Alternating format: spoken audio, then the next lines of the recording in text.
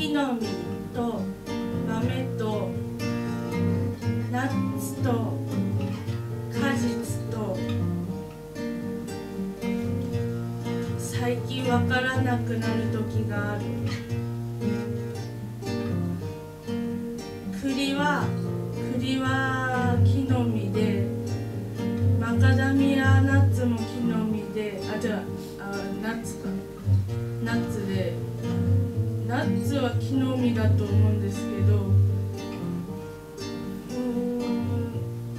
んナッツあアーモンドも木の実でマカダミアナッツも木の実で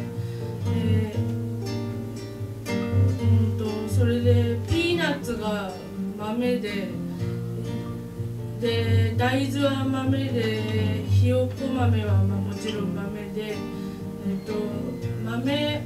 であのあの結局ピーナッツがナッツって言ってるんですけどえ豆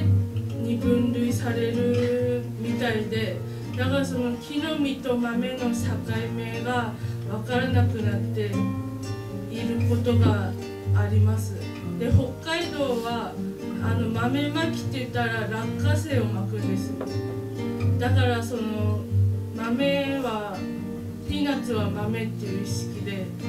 本当はどっちなのか分かんなくなってで